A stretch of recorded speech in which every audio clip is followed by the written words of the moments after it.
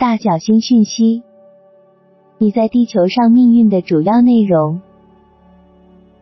你们好，我们是大角星理事会，我们很高兴与你们所有人联系。我们正从远处研究你们所有人，但我们也与你们同在，从你们的内在和周围观察你们。我们是第九维度的存有。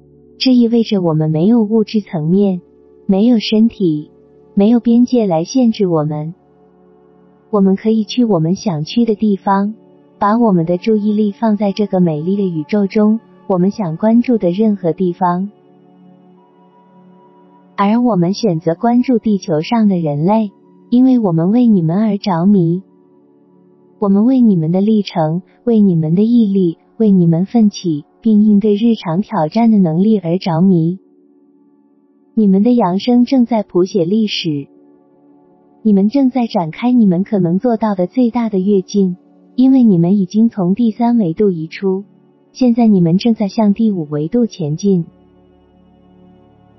这是一个对你们自己、对你们已经取得的进展感觉良好的时刻，但这也是一个让你们探索下一步想去哪里的时刻。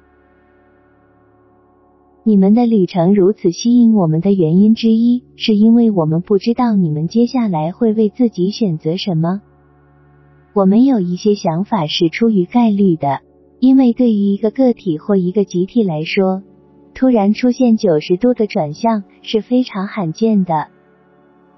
但我们感兴趣的是，你们接下来会做什么？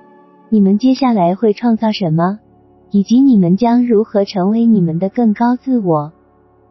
这是你们在地球上命运的主要部分。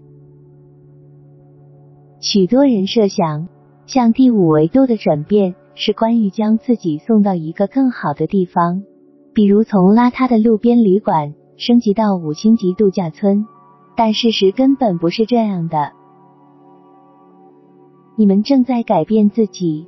当你们这样做的时候，你们外部的世界似乎也在改变。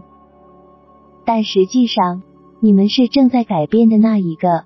当你们以更高振动的视角运作时，你们将看到、体验到并能够做到你们现在做不到的事情。但你们的局限性并不是因为你们生活在哪个国家，在那里有什么样的法律在管理你们，或者你们在银行里有多少钱。你们的局限性只是由你们正在提供的振动所造成。改变你们的震动，你们将改变你们会经历的一切。这趟旅程是为了改变你们自己，一直都是如此。它从来都不是关于改变周遭的环境或消除所有不好的东西。它从来都不是关于把你们不喜欢的一切抛在身后，飞向一个更好的地方，一个更好的实相。你们是意识上的转变，它始于你们，也终于你们。完成它是你们的使命。你们不能把这事搞砸。你们可以依大势所趋而享受这场意识的大转变，也可以对你们不喜欢的现状进行反抗、批判和谴责。这不是更令人满意吗？这就是为什么我们在研究和观察你们，因为我们知道你们不只是在一艘游船上，从一个地方到另一个地方。